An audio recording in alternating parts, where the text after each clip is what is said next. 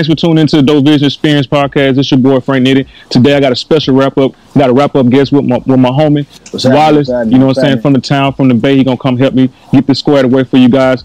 I got some great topics for you guys to kind of look into. We're gonna do top five artists. We're gonna do you know the best moments of the year, some of the hottest artists of the year, the top five albums of the year, you know, so on and so forth. But the first thing I want to do, I want to kick off. We want to start off with the top five albums. Top you know, five. my top five album list, and then we're gonna get his top five album list, and we're gonna see it compare 'em and see which one is gonna work best for you guys. You know, these our album top fives.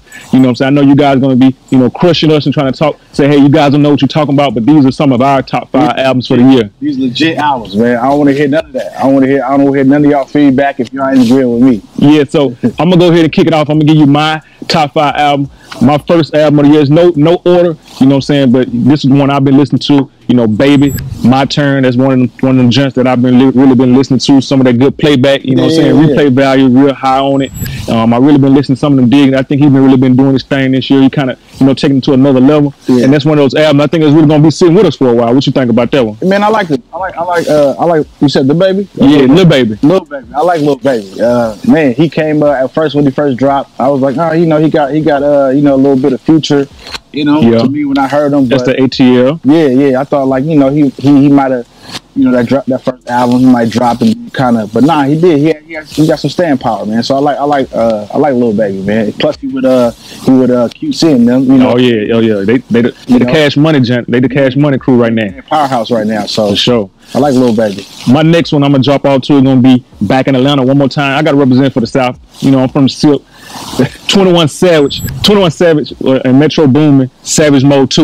You know what I'm saying? This album dropped. You know, I'm a 21 Savage fan. He dropped this album. You know, we have been waiting, um, anticipating this album drop. You know, the first one came through as a dope album. I thought this was a really dope album. You know I'm saying? They had some good visuals come across this, with this album. So, you know, that's one of my one of my top five albums for the year. Yeah, and they took that man into custody, huh? Yeah, yeah, yeah. They, they, they had to get but they, you know what I'm saying? They weren't playing. They weren't Hey. playing. Right around the Super Bowl, right around the Super Bowl. Yeah, they weren't playing. Bowl, Yeah, they I- weren't hey, playing. I say this though, he came back with a vengeance because that, that album hard. That album hard. Yeah, I gotta yeah. give. I always like Metro Boomin too. Metro Boomin is one of uh, to me is one of the top top producers in the Yeah. game right now. You know, but yeah, that twenty one uh, that twenty one Savage album was hard. Yeah, for sure, for sure. And Metro Metro continued cranking cranking them beats out there. Yeah, they they're a good duo. You know what I'm saying? When they get together, they do they they create some magic, man. I don't know what it is with them two, but when they get together, they create some dope music. Yeah, yeah. It's, it's like it's like man, it's like uh, it's like Davante Adams with uh Aaron Rodgers. Right? Oh yeah, it's just a connection. It's the connection. They gonna It's put the numbers up. Yeah, you know it's a I mean? connection. They got it, got it, They got to go. And sometimes you know, what I'm saying that's why I like when a lot of these young artists they they in the booth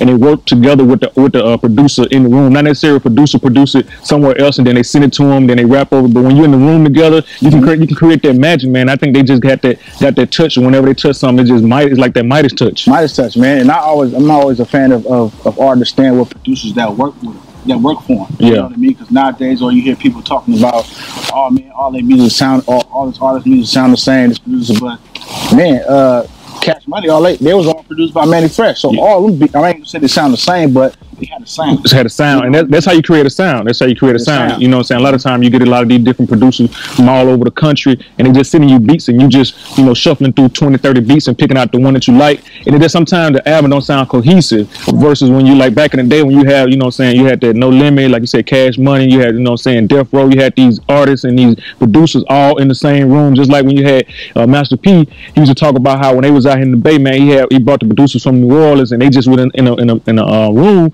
They just go from room to room, and the producers just producing beats, and they just rapping. You know what I'm saying? It all sound good. all sound good. Like you said, the cohesiveness, man, is like when they drop, you know, you ain't even, you know who who it is. You're like, oh, okay, that's it. Man, that's that's Death Row right there. When Yep. you hear them, pianos or whatever, you know, that's Scott Storch over a Dre beat. You know, like, man, the '90s, how they how they did it. I mean, they had those they in-house producers. So, man, uh, 21 with Metro Boomin, hey, They, they got that magic. that's that's hey, that's My- it right there. my next one I want to drop, you know what I'm saying, I want to talk about is uh 2 Chainz, So Help Me God. 2 Chainz came back with this one, man. You know, 2 Chainz been dropping some dope music. You know what I'm saying? I used to love him with Tity Boi, and then he switched it up and he went to 2 Chainz. And you know what I'm saying? He dropped the last one, and, and he's so creative with his album drops. You know, he, he dropped the last one with, you know, with the pink house and the car. They turned into the Trap Museum with with, with, with T.I. And he just got some great visuals. And then his bars and stuff just keep elevating. He keep moving up with them bars. And you know what I'm saying? He, he he's one of those guys who I think he can put the album together. And you can kind of when you hear album, you hear the cohesiveness in his album. You know, you see the level up talk that he talk about, and some of that. You know, he always, you know, he gonna come with the drip. He gonna have all that good stuff that you're gonna see in his videos. You know, what I'm saying he gonna he kill features whenever he jump on. So you know that that album was one of the ones that just recently came out, but I think that's one of the ones that's gonna last and stand the test of time for us. Yeah, I mean, you know, this last album, man, I'm keeping real. I didn't really that 2 Chainz. It was cool, but I, I, I, didn't really. I wasn't feeling like like uh, what is it? The last one, Pink Hot Trap. What was it? Uh, uh, uh Pretty Girls. Black, Black Trap. Yeah. I mean, but two. I always like 2 Chainz. You know, 2 Chainz been in the game for a minute, so you know he know he know you know who he is. You know where he where, he, where his pocket. Yeah. You know I mean, the 2 Chainz always come with the with the clever bars, with the funny bars, and and you know he always got he, he 2 Chainz is like his own he got his own like persona, like it's, it's yeah, it's two chain, chain. yeah, you know, two chain, yeah, yeah, yeah exactly. yeah. And I'm, I'm, just I'm a little salty that he ain't really got Jay on none of them, none of none of his albums. And, you know, Jay been kind of dodging, not let him get that verse. Like, well, come on, Jay, let him get that verse. He gonna kill it for you. Yeah, hey, you know, Jay be kind of stingy with them verses now. He be stingy, but he give them to Ross, he give them to Jesus, but he be stingy with them verses. He be he be stingy with it. He be stingy. Hey, hey, hey, well, I think Bleek said that. Memphis yeah. Bleek said that on some podcast. I've seen him that he asked Jay for for for a verse. That's a man. You can't even get one. Like nah, you can't even, and Jay and he at that level. He at that God level where you know what I'm saying he can pick and choose what kind of records he want to jump on and kind of you know take it to the next level. But that's just Jay. My next one, you know, I want to hold it down for New York. Uh, this is one of my favorite artists, and I think he bounced back with this album. You know, a lot of the times we kind of listen to his music and some of the some of the um the beats just don't match up to what he rapping about because he can rap so good that he can rap, make any beat sound better. But he has just hasn't been doing great with beat picking and I choose this uh this album, this Nas album, King Disease, produced by Hit Boy. You know, he, he locked in with Hit Boy on this album, and Hit Boy produced him one man. I think I think Hit Boy has been doing a great job in the industry, man. He's been doing a lot of producing for a lot of different artists, and he basically, you know, what I'm saying, got in the booth with, with, with uh, Nas. And you think and you think that somebody of his uh his age range, he won't necessarily get the opportunity to work with a guard like Nas like that. West, man, you know, you got to give him that. Uh, you know, he, he he knows that from the West, but yeah, yeah you know what I'm saying? Because it just it's kind of it's kind of hard to see some of the young, the, the old, the new generation working with the older generation, and you don't necessarily see that a lot, you know. And for him to lock in and produce the whole album, I think that was just like a win-win for him, man. Because you know, Hit Boy just gave, gave some solid some solid beats because a lot of the times like Nas just don't be picking on great beats, yeah. and because he can rap so good, he can just rap on any beat, and he's talked about that, you know, he can just rap on any beat, and so a lot of times, you know, we don't necessarily get the best beats from like me. I like a lot of more of those South beats. You know, I can get into I get in tune with some of them, them New York beats. They kind of cool, but when he kind of jump on some of them beats that he can just ride through, ride with, is always lights out with that when it comes to him. And then I got a little bonus one for you that I just started listening to. You know, I said the Jack Harlow. I ain't really had no no no. I had no notion or I had no anticipation. I had any I had any, thought process on how this album was going to sound. I just threw it on. You know, I was doing some work and I just threw it on in the background.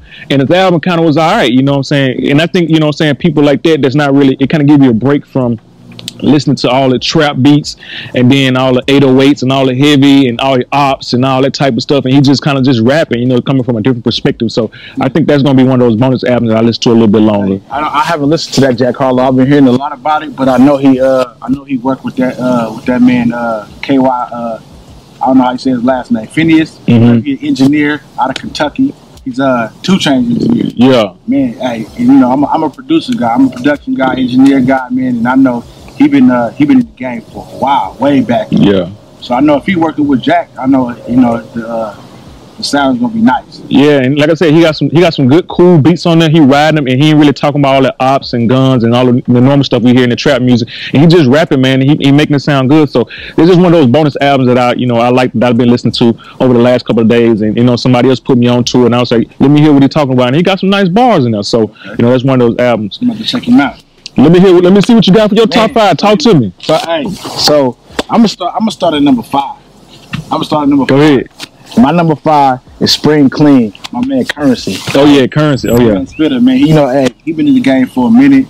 Hey, he's a. Uh, I don't. You know, he's. Some people say he's underground. Some people say. I mean, he's not really mainstream like that. But that Spring Clean. That Spring Clean is nice, man. The production is nice, nice clean, nice clean production. He has some nice samples in there. Uh, he had really had no features. You know, I think he got he got Curren$y and a couple of them, but not not too many uh not too many features. But that's one of the things I like about him. He don't do a lot of he don't do a ton of features. Yeah. You know what I'm saying? He bought them whips. He be having them whips. You know what I'm saying? He crazy about them whips, bro. He Crazy. crazy about the whips. And I like I like I like Curren$y music, man. Spitta, you know, Spitta Andretti. Really, yeah, man. That man, he becoming something that you can roll up to, sip of something, and just, it just ride. For sure. Yeah, that was nice. That's my number five, Spring Clean. My number four, Burden of Proof, Benny the Butcher. I feel you. Burden of Proof, Benny the Butcher, man. When he first came out, Nick first came out, it was uh, the Griselda guys. Yeah. I was like, okay, these, these these cats nice, but this is his first album, I believe, right? His first his first album. I think it is his first album, but man, that was nice. He has, especially the one with the Hit Boy. He got he got a couple tracks with Hit Boy. Man, Hit Boy, you know, he been he been, he been He, he get around, you know what I'm saying? He got them beats and his beats be nice, you know what I'm saying? He got some nice beats, you know what I mean? So I really, you know, dig anything that Hit Boy kind of produce, you know what I mean? And that Benny Butcher sometimes with the Griselda, the Griselda, it's a, a little bit too New York for me sometimes. It's a little, little bit too New York, you know what I'm saying? I rocks with it, but sometimes it's be a little bit too New York for me. Yeah, man. I mean, I mess, I mess with Benny Butcher. I'm, I mean, the other, the other cats. Uh, uh, I forgot their name. Um, Conway and I forgot the other guy name. They, they cool, but that, that The Benny Butcher, yeah. he the one. That, that was nice. Number three, you know, I got to bring it to the Bay. You know, my boy Larry June. You know, hey, hey, hey. You know what I mean? Hey, that, that, uh, Bayonne. man, that keep going. And man, produced by Harry Fraud. I don't know. I mean, Harry Fraud. He got a lot, a lot of nice, um, a lot of nice beats. Man, he got a nice old school sound. You know, he used a lot of samples like old school, like Temptation sound. But man, he put them them 808s behind it. Man, real clean, man. If y'all y'all ain't heard it, man, keep going. Check that out. That one hard right there. My number two. This one was hard though. This one is hard because I really wanted to put a number one. This number two, Freddie Gibbs, Alfredo. Okay, I, I Gibbs. yeah, yeah. I know you've been rocking with Gibbs for a minute. Gibbs, man. Yeah, good. Gibbs, man. That that Alfredo, man. I, I- I believe he got um he got he just got nominated for a Grammy, uh, best rap album of the year. Man, uh, I don't know who else is in that category with him, but that album, he should win. That man, he uh he teamed up with Al- the Alchemist. Alchemist, yeah, yeah. You know, Alchemist is another one. Been in the game Yeah, for a minute. Nice beats, man. Nice production, man. Uh, been around a lot of artists, man. They they, they mess with him. But this one right here, Freddie Gibbs and, and Alchemist, man. That that that's another duo. That's man. Nice. Man. And Freddie don't really get that. He don't. He don't get the the the, the accolades that he he probably should be getting because he went through the whole situation with G's in and he got locked up. He had to charge and all that craziness. And he kind of you know what I'm saying he got past that, but he just doesn't get that recognition that he kind of like kind of like we're in the same boat with Curren$y. You know what I'm saying they kind of if he undergrounds, he's not underground because you don't really hear his music on, on the on the mainstream. But you know what I'm saying if you know, you know. Yeah, man. He been around, like you said, man. He been around. He got a lot of. You know, you go back and listen to his old albums. He's like, man, this he, he been spitting for a while. He Yeah. bars, but uh, yeah, that that Alfredo is my, my number two. My number one, I gotta bring him. I gotta bring it back one more time. The Outrunners. The Okay. Outrunners album. That that that spitter. The, Okay, man, yeah, Curren$y. that was it right there. That man, he was with Harry Fraud on that one too. Harry Fraud produced that album. Man, that was that was that was that was the soundtrack of the summer for me.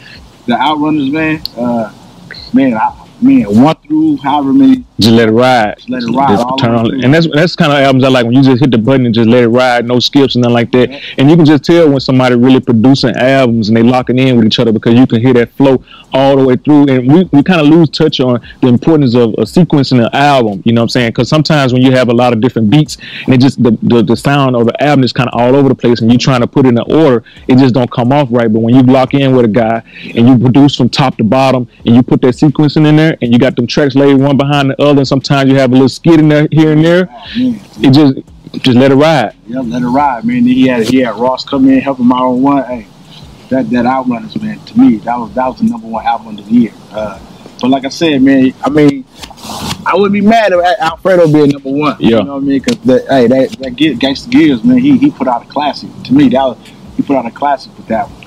But yeah, those are my top five right there, man. The year. Appreciate it, man. Like I said, man, this this our top five. I know you guys got your top five. We listen to different things. You, we always want people to help us put on new music. I hope some of the things that you heard in this in this clip here that you heard about some of this music that you may not have listened to that you go out and listen to and get some good replay value. You know, that's our top five albums of the year. We're gonna wrap this one up. We'll be right back with our next segment. This your boy Frank Nitty with my boy Wallace. Hey, we up in here, man. Holla at us, man. We're gonna be back with our next segment. Stay stay locked in with us. It's your boy Frank Nitty. I'm out.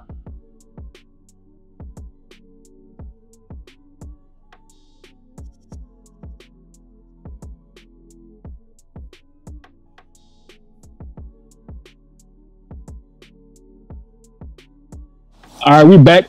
We back again. This your boy Frank Nitty with the Dope Vision Experience Podcast. I got my boy Wallace here. We doing this wrap up, this 2020 20 wrap up. You know, we're coming live from you guys. We're gonna we hit you with the top five um, albums of the year, but this time we're gonna come back with you. We're gonna have the hottest uh, artists of the, of the year. You know, saying these are gonna be these guys or these you know these girls who basically been kind of blazing it, even though we've been going through the pandemic. So we're gonna kick it off with Wallace. What you got for me? Man, hottest hottest artists. I got two hottest artists of the year.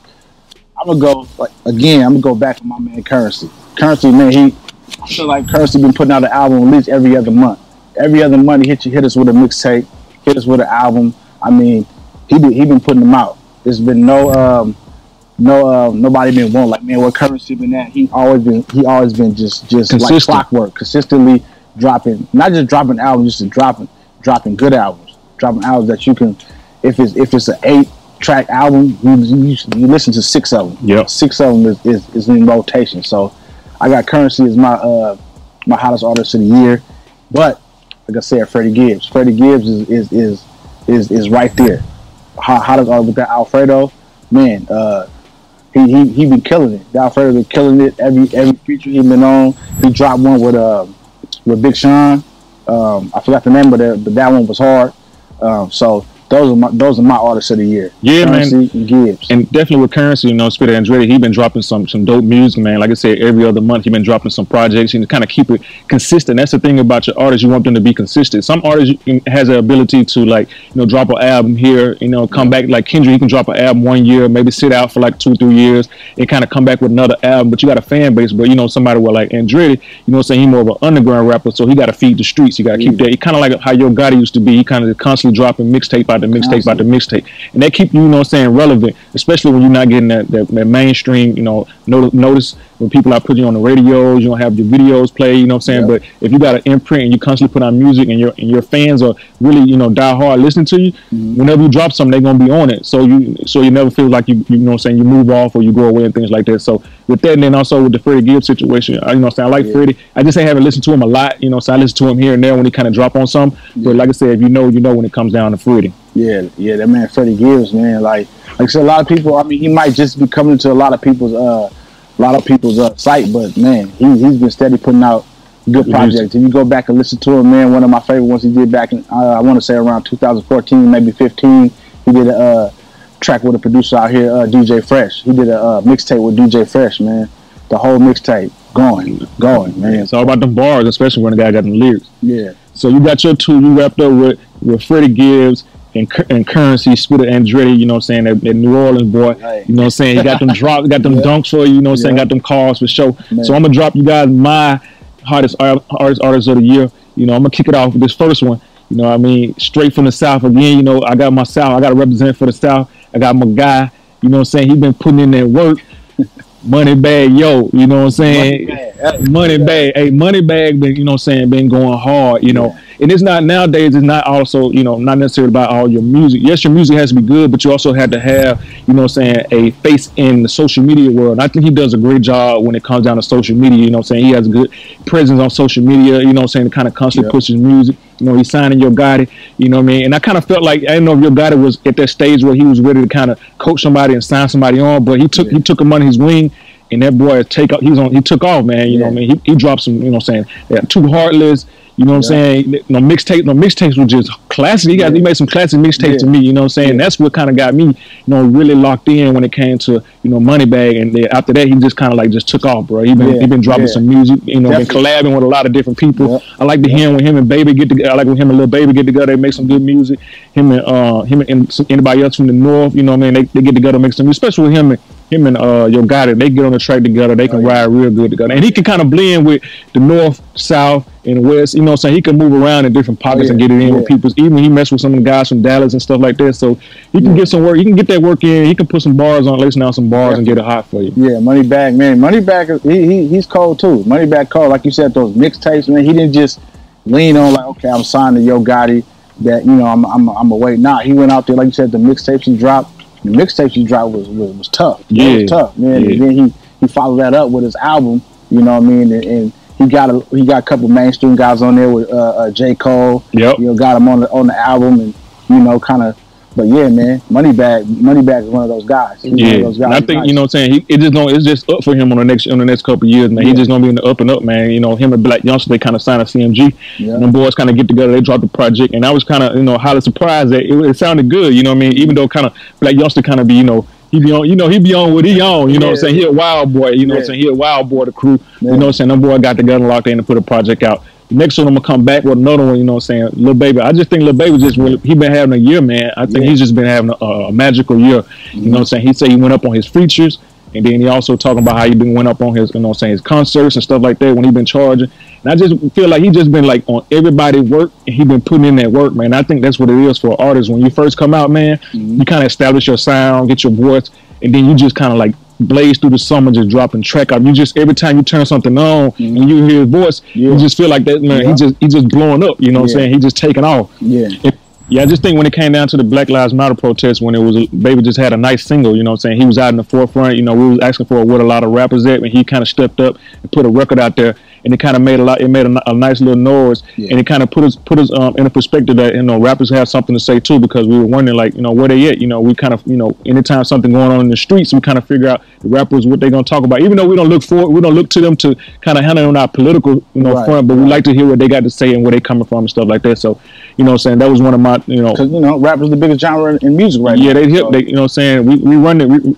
Hip hop culture run mainstream culture, which pushes to the world culture. You know, what I'm saying so you know when we have our rappers step up and kind of say something, even though we don't look, you know, we don't look to them to kind of handle our political right, front, right. but we just like to hear what they got to say from time to time. Yeah, because you know they they're part of the they're part of the fight too. So everybody that they, everybody in their own lane do what they do is, is just pushing towards a better uh pushing towards a greater good. So yeah, absolutely. Yeah, he did, he did his thing. He did his thing with that one. And then one of my, I got a little bonus one. I always kind of throw this bonus one in here. You know, this bonus one, I think, you know, it's going to be Meg the Stallion. You know, she did a great job this year. You know, last year she was a breakthrough artist for Apple. And I think this year she kind of stepped up a little bit more. She had a situation where, you know, her, her and went through, but that kind of more or less, it kind of pushed her, you know, uh, to the forefront even more. Yep. You know, she put out some good music. Not going to deny she put out good music. And then she made that nice little record where she had kind of ending the year of when she made with Cardi B with that WAP, kind of made a lot of noise for the for the ladies. Right. You know, you always got to represent for, you know, you got to have somebody to represent for the ladies. We can't right. leave them out. Right. You know what I'm saying? they're a lot of the, they, they, do a lot of the streaming of the music and paying for tickets and yeah, stuff like that too. Yeah. So we can't leave them out when we're talking about hardest artists of the year. So we want want to feel like we biased. It's always talking about men. So I want to throw some ladies in there as well too. So right, right with that, you know, we come we wrapped up with our, you know, our hardest artists. Like I said, it's our who we feel, how we feel they the hardest artists, you know what I'm saying? You might have your hardest artists, you know what I'm saying? We'd like to hear your comments, you know. if your hardest artists ain't not hardest artists, you wrong. That's how we kicking it, you know what I'm saying? It's 2020, that's how we doing, you know. We out here in this beautiful Bay Area scene. We're doing something different. We want to get out the box a little bit. You know, we've been stuffed in the house for the last Rose, several months. Rose, next time we need we need a couple. We need a hundred bottles, Rose, you know what I'm saying? Hit us with a hundred bottles, you know what I'm saying? So that's how we kicking it. You know, we got to set up. We got we're doing some dope stuff for you. So you know, hanging up, hang, kicking with us for some more. We got some more topics coming up. We appreciate you guys sticking with us. Come back for our next segment. It's your boy Frank Nitty, my boy Wallace. We out to the next one.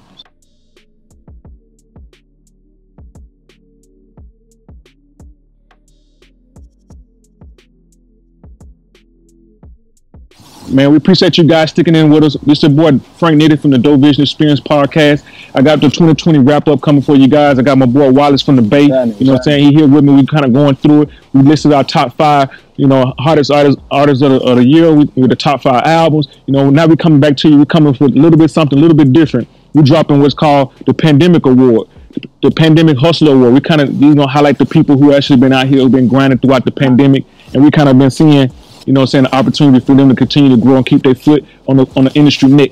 You know, so I kick it off and let you. I go first this time. Okay. You know, I'm saying I'm gonna drop the first one. I go. I'm gonna say. I know this might not, might not be the best one that everybody kind of feeling right now, but you know, I'm saying I had to give it to him. You know, Tory Lanez with the quarantine radio.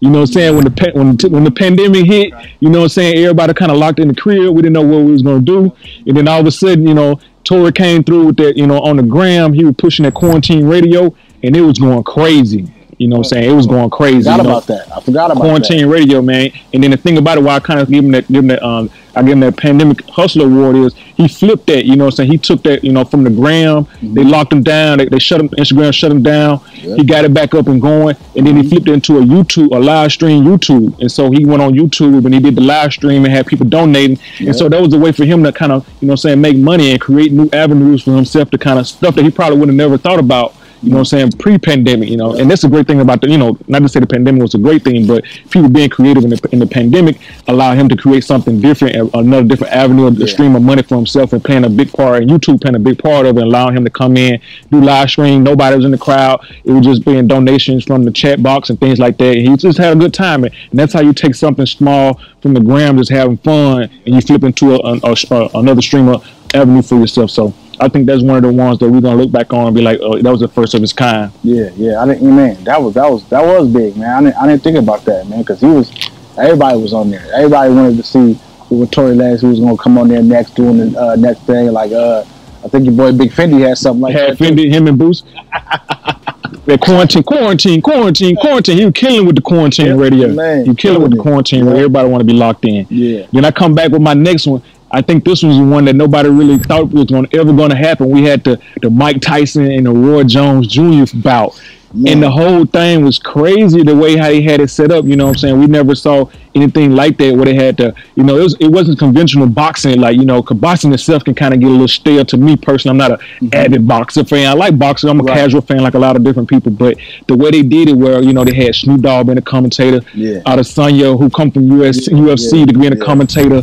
And then they had the acts where, you know what I'm saying, different rappers performing in between the fights with something different that we've never seen before. And Triller kind of came with that and kind of like gave us a different uh, perspective on how uh, a boxing match can take place. Because normally you just see, you know, you see all the little the tune-up fights, yeah, and then you you see the boxer they kind of cut back between between the boxers, and then yeah. they have the boxer come out with the music, and then that's kind of it. Yeah, you got the people in the crowd. yeah, yeah, exactly. But this one was a whole different whole different um, avenue where you had Snoop Dogg. Where I think we need to start looking towards that in the future, where take that where have like normal people calling these fights. You know yeah. what I mean? Kind of make yeah. us more entertaining because Snoop Dogg took the you know he took the cake for me, bro, when he was like you know talking about you know different fights throughout the night, yeah. and then talking about the fight with Jake Paul, and then just, you know just talking about the Roy Jones. He's just giving us a different perspective when it comes. He kept it. He kept it funny. You know, he kept it light. You know, and he still but he still hit you with some knowledge. He hit you with what was going on. Hit you with some uh some facts about you know Tyson or, or, or Roy Jones, like you said, yeah, Adesanya.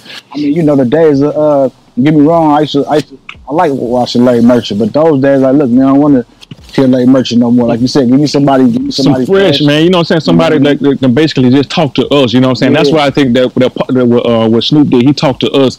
You know, it was just like we was in the barber shop, but we were just sitting in the room watching the fight. He just kind of yeah. talk instead of trying to get us that, that golden voice talk. You know, what yeah. like that's okay at times, but we just know that they weren't throwing no haymakers, and the guy was just, oh, Roy Jones and yeah. Tyson did this, and Tyson like, nah, man, that's cool. You just chill, give us give us what the play by play. You know, just let them know what's going on. And Snoop kind of did that for us. Yeah, and, he, and, he, and it wasn't like it didn't sound like he was under any strict guidelines like, oh, you can't say this. You not nah. He was just being Snoop. Yeah. And I'm I'm talking. I'm saying whatever come to my mind they look like my uncles up there in their fight. Exactly, man. That's exactly. what everybody was thinking. Exactly, man. and I think that what gives him the opportunity to do that because he was he's a part owner when it comes down. I think with Triller, I think he's a part owner there. Okay. So they allow him to kind of have a little free will to kind of talk. And but that's always Snoop. Snoop gonna be Snoop regardless, no matter where he at. Yeah. And that's a good thing about it, you know. And I saw and I saw. I think they that, that fight did like over eighty million or something yeah, like that with the pay per view the pay per view buys. Yeah. That's crazy for a, a, boxing match of this kind like that. You know man, what I mean? Man, it, it just it just it just shows you the way how social media has changed the game because you got Mike Tyson his social media, he, he's showing it, just getting everybody ready for the fight. You got Roy Jones doing this thing on his own social media platforms, just just hyping, hyping the, hyping the whole man. I mean, I can't lie, man. They kind of, you know, took a page from Mayweather. You know, it but yeah, man, that was that was dope, man. I, I enjoyed it, even though, like you said, you know what, you know, you know, Tyson was going Tyson, which you could. They weren't throwing no haymakers. They got what was a three minute round? What was it? Three, two, two minute round? Yep. With seven rounds. Yep. So they, you know what I'm saying? These guys up at age fifty, they up yeah, at their fifty. So you scared? Yeah, you know, Roy Jones trying to he, he's swinging from the outside yeah, like he yeah. normally do, but you know what I'm saying? Tyson still got that. You know, Tyson still got that that knockout like he got that knockout power. Knockout. Knockout. And so you know the fight itself, you know, the whole it's like an event. The whole night of the event was good for me. I even like the, the fights leading up to the main event fight. You know, they had some good fights. You know, we're gonna get to that. We're gonna get to that later. I know you're laughing. We're gonna get to that later. So you oh, know mean? They had some good fights, wasn't it? you know, we saw some good ones. That's gonna last. So you know, that, that was some. You know, just that night in, in its in its totality, man. That night was just good, man, yeah. and it was yeah. good for for entertainment. And I think that's what we have to do with boxing, man. You know, boxing has to become more of an entertainment thing as well. And I think they could take a page from you know having the artists come out and do a little bit of show and things like that. So yeah. And then you know, I had one more You know, this one, you know, he probably I don't think he really dropped a lot of music, but this guy he has a crazy cult following. You know, even his, his following is so strong that a lot of these different brands want to work with him, mm-hmm. and he becoming a more of a mega star, and that's going to allow him to be able to last the test of time going outside of music. And I get this one too, Travis Scott. You know, this this guy had some mm-hmm. crazy partnerships, crazy partnerships, man. He had the PS, he had the Sony PS5 partnership man. that people went crazy for. Fortnite. He had the Fortnite joint, man. Because my kids was going crazy, man. They was like, "Dad, Travis Scott, we got to be up for the track." I think it came on, it dropped I want to say it dropped like when the pandemic first started. When the pandemic first started, you know, everybody, all the kids, because it was during the summertime. Yep. Kids wasn't at school.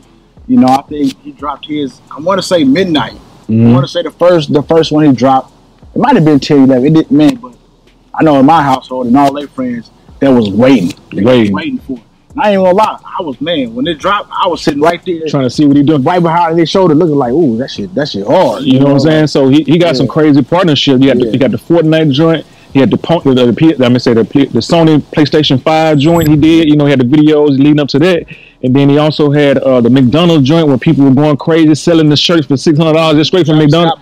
The Travis Scott burger, you know what I'm saying? So he had crazy partnership, and then he had the Nike joint that he already had. Oh, yeah, and he was kind of yeah. dropping the, the, different the different Travis Scott joints with Nike. So I just think he got a crazy cult following, and then he just kind of like boomed through the pandemic. Yeah. But not necessarily with the money with the music side, but more or less just his partnership. But it's just how he used how he leveraged yeah. his music to be able to build with these different, you know, saying different brands and partner his his likeness and things like that. And that's what you got to do, man. You got to be able to get that money outside of just the music because yeah. the music probably not bringing as much money as it used to be because you used to pay when we was coming up, you paying what seventeen dollars for for a CD. You Going to see a show. You're going to see the shows. You know what I mean? Then then then uh, you got the merch. Yeah, and all that. You know what I'm saying? Money. So now it's all streams. So you got to you know put up a million couple couple million streams to get your money back, yeah. and then those because you're getting you know pennies on a dollar when it comes to the stream. so you got to yeah. be able to get your money some other way, which you yeah. can't do go out and do shows. So I think this is a way for him to kind of level up his money yep. with these different partnerships. Yeah, yeah, that's good, man. Yeah, I like I like Travis. I mean, you know, Travis Scott is a good uh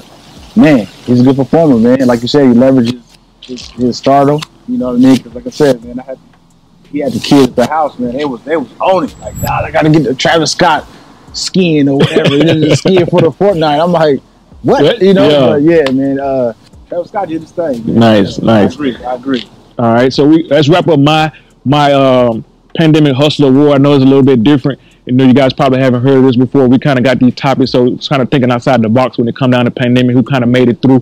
Who kind of who leveled up and got their money up and got their brands up throughout this pandemic? So we're gonna see what my boy Wallace who we got who we coming back with with this pandemic hustler award. Coming back, coming back. Number one, coming back to my guy Spitta. Ah, Andretti. Spitta, man. He gave us, man. Off the top, I want to say he gave us at least four, at least four during the pandemic with Welcome to Jet Life. He, he dropped uh, uh, collaboration with, with Fendi and a couple other uh, Ty, a couple other cats.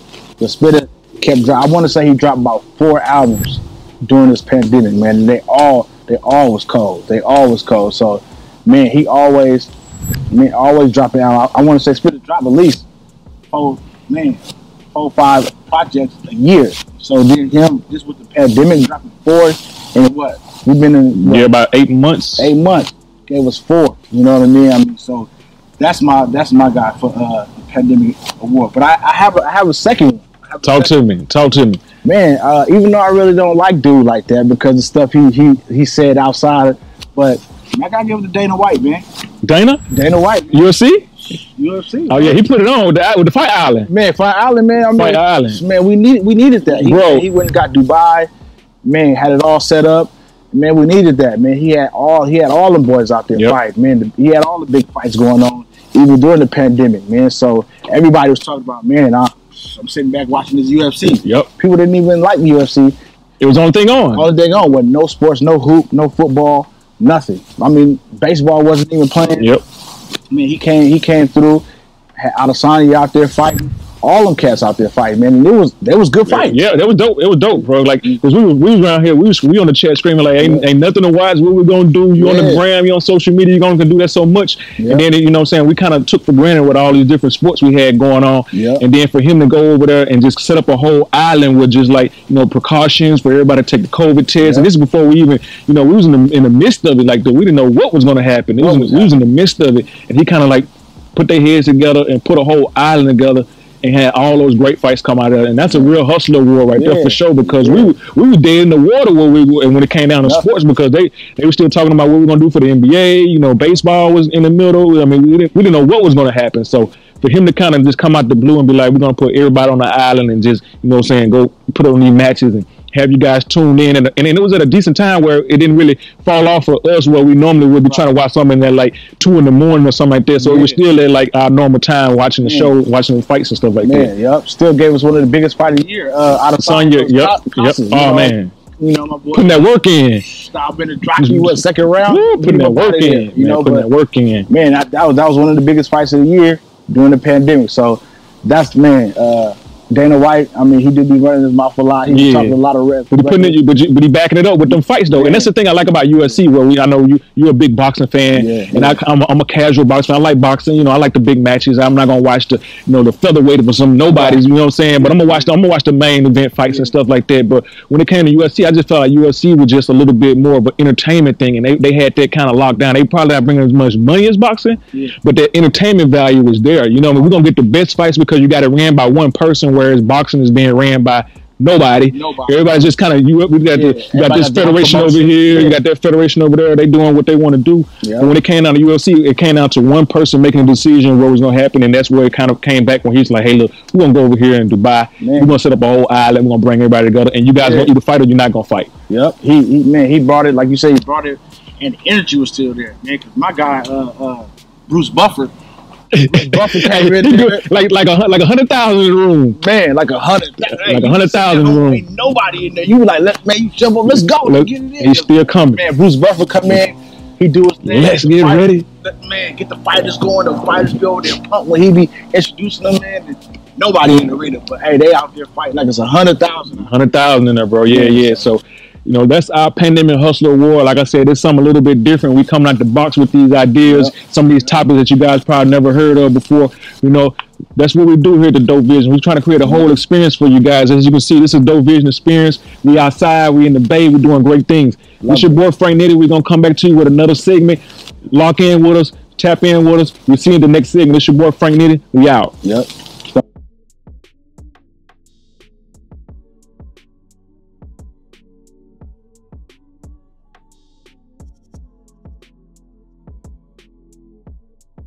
Thank you guys for sticking around to the Dope Vision Experience podcast. This is boy Frank Nitty. I'm back for another segment. I've got my boy Wallace with me. We're here with the 2020 wrap up. We we gave you guys some of the top five albums, the hottest artists, so on and so forth. We got a couple more topics with you guys, but this one we're gonna kick off. We're gonna talk about our top five Verzuz battles that we saw that came in 2020. You know, we had the opportunity to kind of be kind of stuck in the house and we didn't know what we was gonna do. We had we had quarantine radio to kind of pop off, and then now we had. Um, these battles with some of these artists with this music that we've been hearing for you know a lifetime, and then all of a sudden we get these battles that came from uh, Swizz Beatz and Timbo, Yeah. and they kind of put this together, and now we have a whole thing. off, yeah, they? they started off. They did you know, so they started, they did the first time where they were just kind of doing it on back and forth, Yeah. and then we had Scott Storch and so on and so forth with those guys. But Yeah. some of my top five that we're gonna kick it off with, you know, I go my first top five. That Gucci versus Jeezy. You know, so I got to represent for the South, but I that it. Gucci versus Jeezy, you know what I'm saying? that was everybody top. Man, that was that was the most anticipated versus album of all time. yeah. Them boys in the same in the same building. We didn't know they're gonna be in the same building. We just knew something was gonna pop off. Yeah, You know what yeah. I'm saying? We know the tension and you know what I'm saying, me coming being raised in the South and born in the South, you know what I'm saying, in those times and, and just knowing about and running around Atlanta when it was really it was really heavy out there in them streets, man. It was like you Gucci or you Jeezy, man, you know what I'm saying? Yeah. And that music, it was tension. Like you go to some clubs they don't play no Gucci music, some clubs they don't play no Jeezy music. And it was just that it was just that much tension in the city. Yeah. So I can imagine being born in the city and living in the city when that was really going down. You know what I mean? So that Gucci versus Jeezy, you know, they had to. You could see the tension in the room when they was when it was going down. You know what I'm saying? We, and Gucci played and Gucci and Gucci played the disc records in the room together. You know what I'm It saying? kept going. It kept going Kept at it, you know what I'm saying? And, and Jeezy kind of took it on the chin, you know what I'm saying? He took it on the chin for, you know what I'm saying, try to be the bigger part of the culture and things like that. But that was one of the top five verses that I think that, you know, that came off so forth. And, and I think it was good for the music. I think it was good for the culture, though. it, it was good. It was good for the culture. I mean, I think I think everybody went in. It wasn't no winner or no loser. They just wanted to see them, the two men in the room and playing their playing their classic hits. But for me, I was just man, it wasn't even it wasn't even close.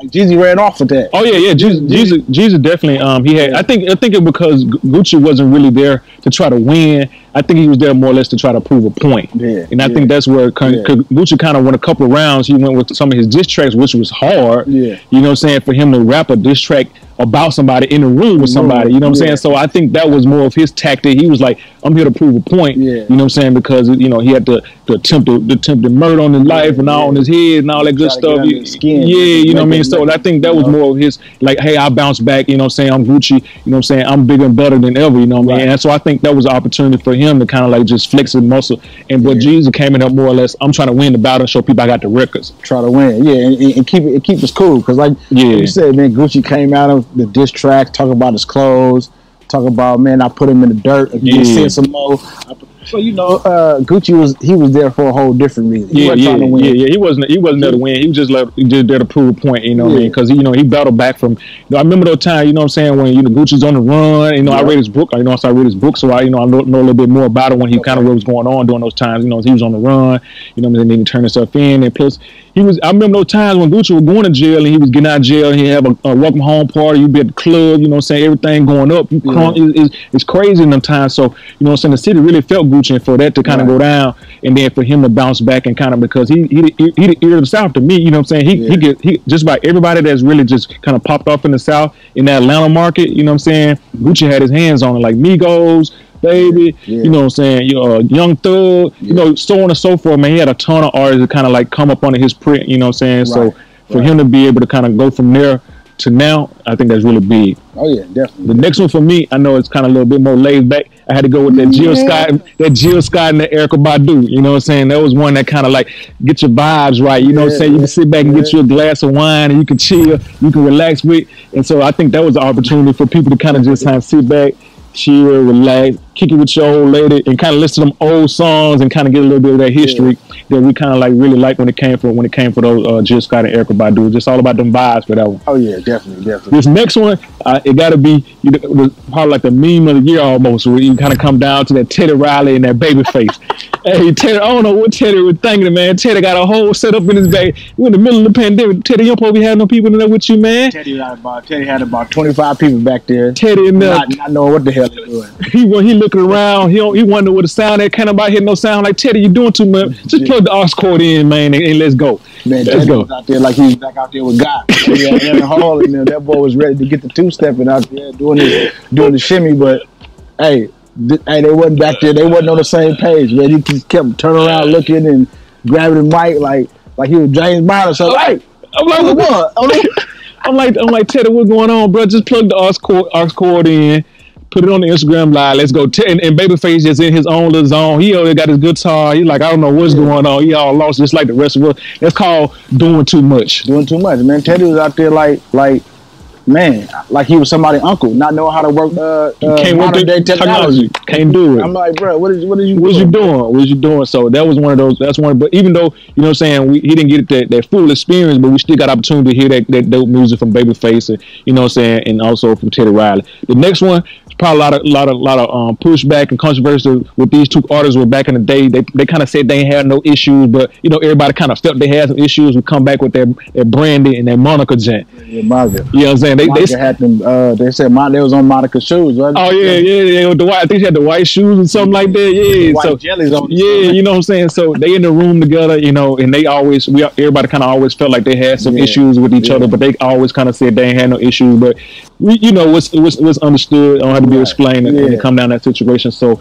You know, that was one of those ones. They sat in the room together. They played their music, and Brandon had some of those classic hits that we wanted. And Monica, of course, had some of those they, classic they, hits was out there beefing like Jeezy and Gucci. they in the room together and they, they kind of trying to you know what I'm saying I think they're trying to play it off and try to play it up for the cameras and make everything seem, seem like a Gucci but we kind of felt you know we can kind of see that something wasn't right Man, we can yeah. see it we Yeah. when it, it, comes on camera we can see it Man, it You can see it. it. Was, it was, yeah, yeah. so that was one of those ones and then the last one is that 112 versus Jagged Edge you know what I'm saying come back with that R&B man Yeah, that, that, yeah. that's that music that I grew up on man you know what I mean that 112 Jagged Edge it was just that, that music classic music for them some music, man. Mid twenties, early twenties. You up in there doing your thing, pictures of crazy. so that wrap up my top five we're gonna come back with the next top five Wallace let me see what you got boss Man, so you know, uh, you know, I- my, one of my top fives on there was Jeezy and Gucci. We already went through that, so so we ain't gonna. Uh, we ain't, but mine is one of mine was Timbaland Swizz Beatz, man. I love production. Yep. So you know when they was talking about, oh, we about to we about to go go back and forth. I was like, man, I was ready for that.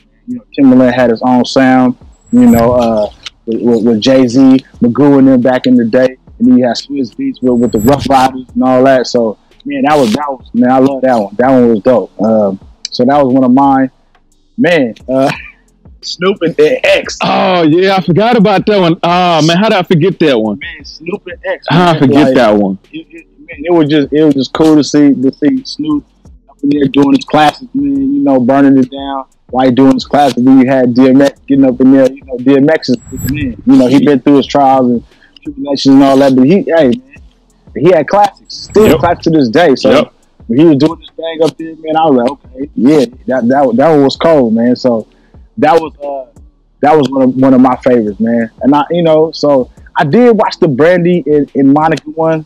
I wasn't really too. Yeah, yeah, you weren't locked in like that. I was I locked in. I wasn't locked in like that. It's like you know. Had my old lady. She like she we were locked in. We was Oh, yeah. locked in. Yeah, yeah. See, I, I mean, but we was locked in on the Erykah. Uh, Erykah Badu Badu and, and the and Jill just Scott. Oh yeah, yeah, Yeah, yeah. yeah, they- it was just all type of vibes with that one. oh man, it was, it was man, you know, Crazy vibes. turn the lights down, and sit back, and just be like, man, let them do their thing. Let's go. Let's get it. Yeah, it. Pull me up, me this real quick, and, me, and, and, see what see what they about to do, man. I thought, I thought, I thought Jill Scott was gonna get up and do a little, her little, her little performance. Oh yeah, in the but mi- she didn't do it for the for the for the uh for the fans. You know, I was kind of I was kind of down. Ah, You know, man, that was that was uh, all I had was three, man. That was Yep. my that was my three.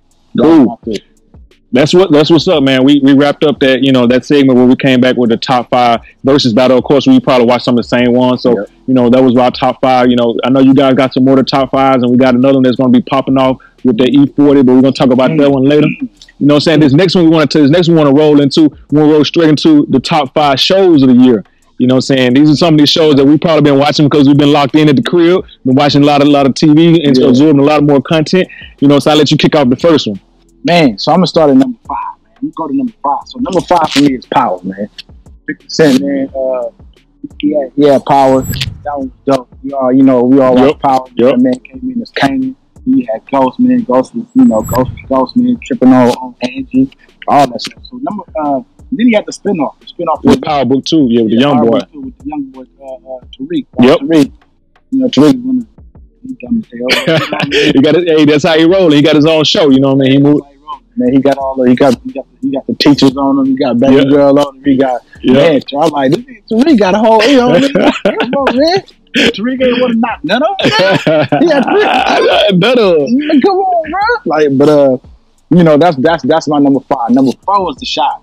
Yeah. Uh, the shot. Oh yeah, Chi go hard. Chi go hard. Man, this last season, man, man, the stuff they were talking about when baby girl got kidnapped and all. that, Yeah. That was, I was like, damn, man, they got, got baby girl kidnapped like that. Yeah, I just thought the Chi was. I think this season here was just a little bit on a on a down down for me. You know what I'm saying? I think they. I like I like what they talked about with the concept of her getting kidnapped, but I think they just like took the show in a different direction. I know that I talked about it on my podcast on my series with the Chi. You know, so I just thought that they took the took a downward spiral, just kind of leading us in a role where it wasn't even fun. It wasn't funny like they were having their funny Right. moments in the show. They didn't really have many funny moments in the More show. serious. It was more serious. Yeah. You know what I'm saying? I understand that because they lost two of their top actors, you know what I'm saying, for whatever foolishness that went down Right, between them. right. But the, this was my best season with the show that I like, you know, even though I like the show overall because it is a black show. Right, right, yeah, yeah, definitely, yeah. They did two of their top, uh, two of their top actors, man. That was, uh, man, that was that was cold. That was cold. Then they they killed young, uh, killed the old dude. Ronnie, yeah, yeah, running, yeah. Killed Ronnie. Killed Ronnie, yeah. Ronnie, you know, Ronnie, you know, he always had a weird voice to me. Yeah, yeah, he did. He did. ain't my grandma. And then sometimes he, and sometimes he come on the show, he, he he bring the show down a little bit, Yeah, yeah, because yeah. But you know, he still, you know, I Yeah. still kind of was rooting for, Yeah, rooting yeah. for Ronnie, man. they like, nah, bro, you ain't gonna get this body, ain't gonna think you gonna get nothing, ain't nothing gonna happen to you, bro. Yeah. Back my uh, number three is P Valley, man. P Valley, man, is is uh, it was it was it was it's, it has some good scenes, but it has some crazy scenes too. Yeah, like, it did. Dude, the owner, man, like I'm like, come on, man, we could have we could have Yep. could have went past those, man. We had to see that, but you know that P Valley was my number three, man. Had, had the dope uh, the dope scenes, man. Uh, girls doing their thing. Great music. Yeah, great music, man. Great music. Uh, Mississippi, uh, what is his name? Uh. Chuck, Chuck, Chucalissa, yeah. Chuck, Uh, whatever it was. But I was like, they came the sip, they talk about it for the sip, baby. yeah, yeah. That was like, yeah, that's a crazy, that's a crazy name. So that's my number three. My number two is for life. I don't know if you watched that on ABC. Oh, that's on ABC. It's the 50 gen. I, I, Yeah, I haven't watched that one. Yeah, yeah, man. It's uh, basically it's about a uh, it's a true story about a dude that got falsely accused, you know, taken to jail. He was, I think he spent seven years in jail, something like that. Um, he uh, became a lawyer in jail Yep. on his own, fought his case, got out, became a lawyer. So man, that was that's a real good one, man. That's a real good one. Uh, Fifty Cent, like you said, Fifty Yep. Cent executive produced that one. My number one, man, what I'm waiting on, man. R.I.P. My man John Singleton. Oh, Snowfall. Oh, yeah. yeah I got that. Snowfall is Yeah, my sure. number one, man. Sure. Uh, my man uh, Franklin. Oh, yeah. We ready. We Franklin, ready. man, hey, he that guy, man. He that Yep. guy. Franklin and his cousin Leon. Yep. Leon a hothead, but Yep. you need You got the shooter. You got the shooter. You got one to shoot and one for the one. One. Yeah. He the muscle He the muscle, man. So, hey, hey, Snowfall, hey, that's my that's my number one. Man. for sure. What you got, man? Hey, I'm doing. Here go mine. You know, I know we talked about it. P Valley was one of my shows that I watched for the sh- watched for uh, for show. You know, I, I love the intro. I love the music. You know, they talk about that down south. You know, man, that's good. That's some great, great, great opportunity for them to talk about the down south. Get with it, straight from the silk. Uh, my number two, Lovecraft Country. I know you guys weren't really watching this one's on HBO. Crazy, you know, it was like sci-fi horror. I'm really into that type of stuff. It was a crazy show. You know, Someone by uh, uh, Jordan Peele, right? Jordan Peele, Yeah. uh, executive produced by Jordan Peele. You know what I'm saying? He, he does a great job when it comes to that sci-fi horror type stuff. So if you had an opportunity, you know, I did do a podcast on that. If you haven't had a chance to listen to that, go back and, you know, what I'm saying, listen to some of my previous podcasts. I kind of do a whole series about that, as well as the shot that you talked about. Okay. Uh, my next one is Insecure. You know what I'm saying? About Issa Rae. Issa Rae was really dope. I, it's only 30 minutes, so I wish the show was a lot longer. Yeah. You know what I'm saying? They give it eight episodes. talking to dudes. Yeah, That's she do. I, Yeah, I, she- I don't be messing. with hey, Hey, man, hey, though, it's a, it's a really dope show, and you know what I'm saying. And they kind of go through some highs and some lows on the show, but I think this show really. I think they need to have more episodes. Eight episodes just not enough. And then um, the one that we always locked in on, the Last Dance with MJ. That was definitely one, one of the ones for me this year. Watching, goat, M, the watching, goat. watching the goat. You know what I'm saying? Yeah. Watching the goat. We all. It was it a perfect. The goat. The goat. The goat. Yeah. You know, everybody was locked in. We had opportunity to watch it. They pushed it out at the right time because everybody was at home. We watched it together. We about well, two episodes a night for like four weeks or something like that. We locked in Sunday, on Sunday. We watched because nothing else to watch, and they put it. It was supposed to come out at a different time, but they made it come out during the time we was in the pandemic, so everybody saw it. So all eyeballs was on this. It was a great opportunity for a lot of content, a lot of feedback. So you know, we talked about the goat, MJ, Man, the goat. and then you know, um, we talk. You know, one of the ones I have is Snowfall. Of course, I'm rocking with Snowfall. I love all them, them, them dope type movies. You know, it's loosely based on Freeway Ricky Ross life. I think, yeah, uh, loosely based on his life. You know, with Franklin. So he actually from UK, the guy who plays it. You know, what I'm saying UK UK actor. He flip his, uh, flip his accent on and off. You know, what I'm saying learn from Dub C. I think he got the accent. I think he Oh, learned real? American I accent that. from Dub C. I think kind of work on Dub C, uh, Dub C from West Coast. Yeah. So I think don't don't quote me on, it, but I think that's right. And then I had a bonus one. Cobra Kai is on Netflix. If you haven't watched Cobra Kai, you know it's like one of those shows. If you really watch Karate Kid and you was into the Karate Kid back as a kid, you know what I'm saying. This is kind of flip on it where they kind of do a lot of the, the talk about the show in the old uh, old manner, but they kind of do a nice little twist on it. Whereas they kind of got you know what I'm saying Netflix kind of got it and, and kind of put a flip on it. And I really like I really like that show. And I think if you haven't had a chance, They bring the crane kick back. they got it, bro. They got everything. And they do a lot of reference where they have, you know what I'm saying? Where they got a lot of reference where you got the, the young guy who got kicked in the face, you know what I'm saying? Now he's coming back trying to re, re, uh, reinvent the uh, the Cobra Kai whole situation. And Yeah. they kind of have, you know, Dan LaRusso, you know, they kind of, it's, it's all, it's, a lot of the actors who was in the movie the first time, they're in the, in the TV series. So that's Check one of those ones. All right. So that's our top five uh, TV shows that we kind of talked about that you guys get the opportunity to watch. Next, we're going to flip over. We're going to talk about some of our other, you know, some of the things that we want to see. Top top three verses. We're going to make this quick for you. We're going to do the top three mm-hmm. verses that we want to see. I'll go first. My first I want to see Dipset versus G Unit. You know what I'm saying? This one of the ones I think we, you know what I'm saying, I want to see. This going to be one of those battles I think that would be epic for the New York scene. You know, those guys were really kind of like, I don't know who would really play a lot of music from the from the G Unit side besides 50 joints. Right. But I know Dipset got that diplomatic immunity Yeah, yeah. and they got those records for you. So that's one of those ones. Me, another, I'm representing for the South again. Eight ball MJG versus UGK. I think that's going to be one of those battles that we will really get into that I would really love and, and really um, look look forward to seeing in the future. And then there's one I think that everybody would love to see: Cash Money versus No Limit. I think that would be one of those battles. You know what I'm saying? That Man, NO, the yeah. NO. There was some. There was a lot of music came out in those times from those different from, from that whole camp. That'd be tough, right there. Yeah, that's that be cash tough. money, no limit. So I think that was one of those my top three uh, um, uh, verses that I, that I like to see. I gotta give it to. Uh, I will give it to uh, no, uh, not no no cash money. It's gonna, it'll be hard, man, because P got them junk, that ghetto dope. We got a lot of music come out of there. You know, Fiend, a lot of them guys, they got a lot of music came out of there. They do, but I, just, I just don't think you know he don't have the Silk Shocker, not Silk Shocker, but uh, Mystikal. Yeah, got Mystikal. Mystikal. I don't think he got those guys like Juvie and BG, yeah, yeah, yeah, yeah, Big Tymers, all yeah, that. You know what I'm saying? Yeah. So yeah, yeah. So what you got? Man, mine is three six versus Dipset. Woo, that would be a good one. Three, three six. six. I had three six and Bone. They canceled it, so I didn't know if I should really bring that one yeah. back though. But yeah, I don't think Bone. Like I said, Bone. I, mean, Bone has some some hits. They have yeah. hits, but I think three six. Man, they still they they man they have a lot. So three six. I think three six and Dipset would be uh would be the one. Um, I did want to see T.I. versus Fifty just because T.I. was running his mouth. Yeah, yeah, I mean, yeah. I don't think I think, think T.I. got more of them, hood trap songs, but yeah. I think you know Fifty got the bigger, the bigger, the bigger uh, songs. Yeah, yeah, got yeah. the bigger songs. So yeah. like, man, you know, you don't really, you don't really want to, uh, you know, that wouldn't really go nowhere. Yeah. But I did want to see, I did want to see, I do want to see Dr. Dre I want to see Dre versus Mannie Fresh. Ooh. I don't know. Dre Dre sound Dre sounds just a little bit out of. I think he. I think his. I think his sounds a little bit out of the reach for Manny. Like when we did with Scott Storch. So I think his sound is a little bit, you know, a little bit more. I'm like regional. Who else? Who else I mean, who else? Who, who else can you see? I mean, he could sign Timbo. Timbaland Tim, or or Neptune, some uh, you know what I'm saying? Maybe yeah man maybe maybe, maybe. Neptune's got got got some maybe Neptune maybe. So you know I'm a, I'm a, I'm a producer guy man so I want to see Dre go go at somebody else man. So so that's my top three top three uh verses I wanted to see. Cool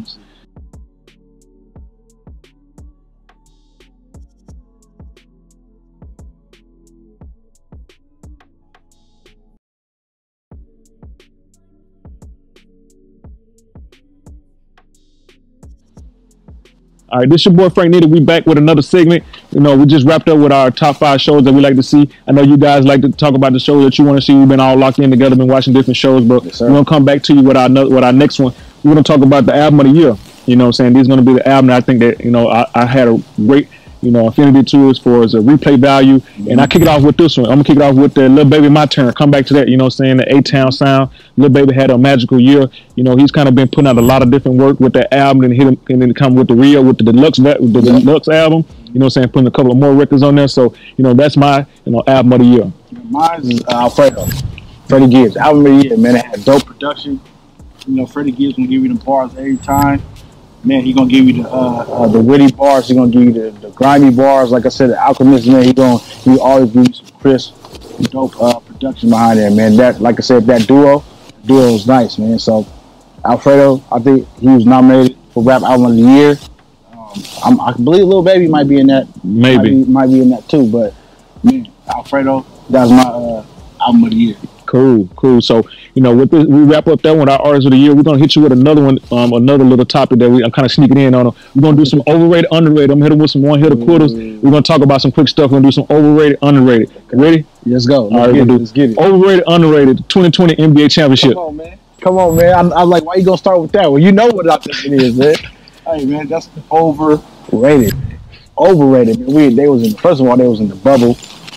I mean, they didn't. They stopped this. They stopped. They had to stop the season middle of the, uh, middle of the season because their boy Rudy Gobert, Utah Jazz, is trash. Uh, so they had to uh, stop the season because of that.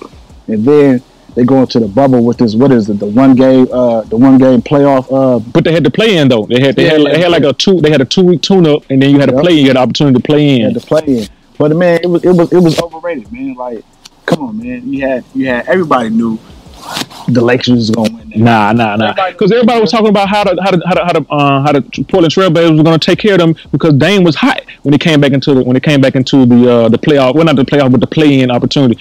The, the Trailblazers were hot. They were talking about how the Trailblazers. They were hoping. They, everybody was hoping that the Trailblazers kind of get that eight spot so they can play the Lakers. Matter, matter of fact, I think it was underrated because um, I just technically I think it was underrated because I feel like you know the bubble. Yes, they had to stop but everybody stopped. They gave Kawhi opportunity to get rest. A lot of players opportunity. They got four or five months off to get opportunity to get rest. But then you had to go down to the bubble where everybody had the same thing to eat. They had to stay the same place. You had no travel. You had no girls. You had nothing. It was like you had everything was on the platter for everybody to be an even playing field. You had no home court advantage. None of that.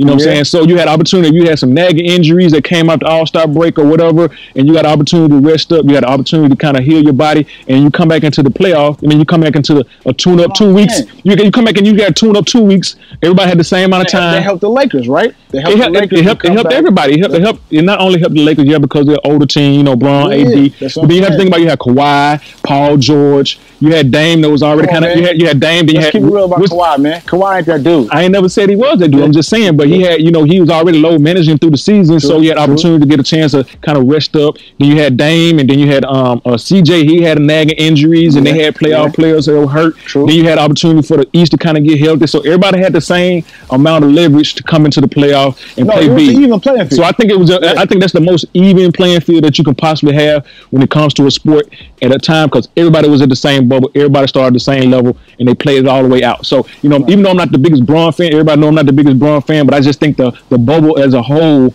I think everybody had an even opportunity No, to kind of get in there. Right. It was even yeah, it was even playing field to get in there. But I don't think I think it was overrated because it helped it helped man, it helped the older teams as the Lakers. The older But it gave it gave the younger teams the opportunity, the chance to, to kind of you know get ready and kind of boost their morale and get ready for get ready for the playoffs too. Because you got you know, it's in the Trailblazers, they're, they're a little bit younger team, and you had the Mavs, they're a younger team. These So boys play team, hard. They need they, they need their crowd base. They need their crowd Yes. base to that younger team to, to, to get them going. But then when you're on the, but, but- don't need but them. when you're on the road as a young team, you, it's hard for you.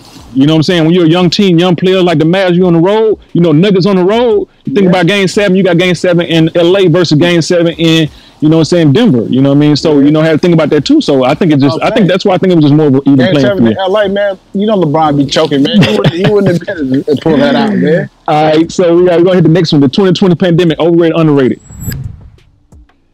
Oh, man. Uh, I think it's underrated, man. Underrated. I think it's Underrated. man, because uh, man, people still out here acting like ain't no ain't no big thing going on. Hey, Rona Real. These cats dropping like flies. They're- they're on the real, man. Midwest right now. Yeah. you cats dropping like flies. So I Yeah. think it's underrated, overrated on how they're going about going to Costco and, and Yeah. killing all. All right, man, Yeah. come on, man. Yeah, it's You know what I mean? crazy. Lysol and all that. Like, come It's on, crazy. You should have been washing your We hands. fight, we fighting about tissue. About tissue, man. we fighting about tissue. Come on, we fighting about tissue. Sanitizer. Man, should, hey, hey, man, the best is, is, is water and soap, man. You should have been watching. Yeah, man. So I, I think it's underrated too, but you know what I'm saying. But it gave me an opportunity to kick off my podcast. You know, some of the things that everybody kind of slowed down, give me an opportunity to do things I've been wanting to do. So I think it's kind of underrated because people wasn't taking it serious. Like you said, we still Yeah. got people in Texas, Atlanta, and different places in Florida. They weren't really taking it serious. They haven't been taking it serious. Houston, They haven't been taking it serious. So you know, now we kind of get to the point where we have we want to we're on another shutdown. Kind of here out here in the Bay, we're on another shutdown. So this is where we at right now. Next one coming at you. Uh, Trump kissing the Rona. Overrated, underrated. Man, that's overrated, man. overrated, man. Come on, man. That dude went to the, went to the he called Rhoda, went to the hospital, came out what? Three days later. Come on, man. Three days later. That man, what he about? He about seventy eight. Come on, man. Three days later. Man. He went up in there. Yeah, man, it's over. I don't believe none of that. None of it. None of it. Yeah. None of it. None of it. You know, Yeah. and then they're not talking about take. They're going to take the, the vaccination live on t- live on TV so everybody can see. We don't believe that. You know what I'm saying? We don't. We don't believe that. You know what I'm saying? We know the vac- we know the vaccine is kind of kind of starting to hit the markets, and, uh, and I want people to be safe before they actually you know take it. You know, what I mean, we don't know what the side effects are going to be, but we definitely want you know people to get healthy. So whatever shot that we have, you know, we got an opportunity to take it. You know, got to do what you got to do. Especially people in the healthcare field, you got to do what you got to do. Right. You know, just safe. live on TV, man. What is this? WWF, man? Yeah. Come on, he did he catch tripping, man. All right, overrated, underrated, homeschooling. Wait, wait, wait. Like in what way? Like is it a good thing or a bad thing? Is it, is it overrated or is it underrated? Man, I think that damn thing is is, is, is overrated. man. man, they hey, because you got a you got a full time job and you got to be a full time teacher. yep. Come on, man. Then you got the company that expect you to get your full workload. Low. in. Yeah, man. Nah, You know, work from home, man, it's, it's overrated, bro. Like at first, you think you come kick the crib, you ain't got to deal with the traffic. But when you stuck at the crib with kids, you got to do three meals a day, homework, activities, your work, keep them entertained. You know what I'm saying? So I just think it's overrated, man. I just think it's we just talking over- about the teacher. We talking about homework, man. Is everything is at home. yeah, man, it's overrated, man. And then hit you with one last time, wearing a mask while the pandemic going on. Overrated, underrated. Underrated. these, hey, these cats be out here like, look how many people, man. They be walking around here like ain't no big thing, man. Yeah, man. You know, they be coming and try to talk to you close, man. You you know, you keep back. Yeah, man. Underrated, Put, put a put a damn mask on. All right, man. That's our overrated, underrated um, a segment. With our next segment, we appreciate you guys hanging in there with us. We're gonna kind of kick it with our next segment. Our next segment gonna roll straight into it. We're gonna do the top memes of this 2020 year. I'm gonna kick it off fresh off, fresh off for you guys. Go the top ahead, one for the year has to be Nate Robinson getting knocked out by Jake Paul. Man. You know, he said he said he said the NBA players back, man. He Set him him back. You know, he let the YouTube star knock him out. I know what I'm saying. He took it on the chin. He came out there. You know, Snoop was doing the commentating. Snoop was just kind of took it to another level and leveled it up. But when we see him get knocked out, man, we was just like, what in the world just happened? Man, you know what I'm saying? He talked all that trash to that man. That man been boxing. He been he been practicing, and then Nate just went in there with his head down and get hit eight times, and he out out for the count. Man, I knew it was gonna happen. That man said he been practicing. I mean, he been boxing for two years. That ain't a long time, but it's more than a dude that's been boxing for two weeks. You know, I mean? that man Nate Robinson came on told you know because he you know he got a little swollen. Hey man, ain't got nothing to do with that. This ain't wrestling, man. Knocked him out, man. Knocked, Knocked him out. smooth out, man. Man, my my next one gonna be the Will Smith face when Jada told me she was caught up in an entanglement. I think that had to be the one, man. You know what I'm saying? Him getting getting that look, he had that just that sad look on his face, and that just ran around, it ran through the internet, man. He get, he get caught up in an entanglement. I think that was the one. You know what I'm saying? Man, I'm like, bro, bro, did you not? I thought everybody knew that was going on. That boy was sitting up at that red table, like, I'm like, bro, I ain't even. You see that man with your with your kids and your wife? I'm just saying, man. Yeah, I think that that was the one, man. That was the one, bro. He he had that sad face on, man. That, that ran through the neighbor. That ran through. It's just like the MJ. You know what I'm saying? It's not. It's, pow- it's not. It's not. It's not. It's not on top of the MJ one, but it's up there, man. You got the MJ Tiger Woods. You got the Will Smith gent. Hey, Jada Smith called. Jada Smith sat across the table and said, I like, she came up with a new word for cheating. She said entanglement. I'm I in said- entanglement. I'm I in said- entanglement. I said, dang, I'm in entanglement. entanglement. Why would we use that at work? Why didn't get this done, man? I was in entanglement. I'm in man. entanglement. I'm in entanglement with these kids or something, man. You know what I'm saying? I couldn't get it done. Hey, she, she a cold one for that. She said entanglement. Yeah, man. Got them locked up. What you got for me? Man, so I was with you on that. So I had I had uh I had uh, uh Nate Robinson getting getting knocked knocked the fuck out. Um then I had uh I had uh I had your boy Will Smith on there too. But then I don't know if this is me, but I had I had my man uh uh Sway the remix guy when he came out with baby you about to lose your job. Oh With- man. Bro, that man, that shit had me crying. Oh yeah, yeah, yeah. How he remixed that? So Yeah. that was that was that was my uh that's what I had, man. That's what I had for the for the music uh, top three of the year, man. That's what's up, man. You know, we appreciate you guys. You You, know, see, you see, you see. I know you see the neon, uh, neon uh, boat came through. You feel me? That's how we. That's how dope. That's how we doing, man. That's We, we we've been up from the sun up to the sundown, man. That's how we rocking, man. We've been out here for a minute. You know what I'm saying? We're doing something different. We putting an experience on for you guys, man. We kind of come up with these topics so you guys can kind of wrap up this 2020. Yes, you know, we're gonna um we we've got one last one I know you guys want to kind of hear about. You know, it's gonna be going down. We got the battle with the E40 and sir. Too Short. Got to put on for the Bay. You know, two legends in the Bay. You know what I'm saying? Who you got? man. You know, man. I grew up on my man Short Dog, man. So I got show. I got show, man. Uh, like, but E40, he that dude too. Yeah, Mhm. but if, I had to pick, man, I'm going with Short Dog, man. He got the classics, man. Bitch. Yeah, man. He man, he made the word bitch a a, a, a staple. man. yeah, man. It's a staple in, in, in, in rap, man. Yeah. Uh, so yeah, I got man Yeah. with the beats, man, the bass, the 808s behind it, man, with the with the bass line, with the with the live bass guitar, man. I mean, Short Dog, man, he to me, man, he he a legend in the game, man. He Yeah. still got cats these days sampling his, his beats, man, putting out having hits behind him, man. But man, don't sleep on 40 though. yep. 40, man, that man, that man, that man's language, man, he changed the way cats Oh yeah. talking, man. Oh yeah. That lingo. That lingo crazy. Man, crazy so- lingo. He 40, man. He a legend in himself, man. I can't wait to see this. Uh, see this verses, man. Uh, who you got? me, my brother put me on too short coming up, man. That's what I'm rocking with. You know what I'm saying? I, I understand E40 is a legend. You know, he kind of broke through for the South with Sprinkle Me and stuff like that. Yeah. But just growing up in the South and my brother listening to that too short, man, you know what I'm saying? I was too young to be listening to it at the time. Yeah. But when I was listening to it, I didn't, I didn't quite understand what he was saying. But as I got older, I definitely understand it now. But when he was rapping back then, it was just like them sounds, them um, bass sounds. You know, you, I didn't really understand all that music, you know what I'm saying? Because I was much younger.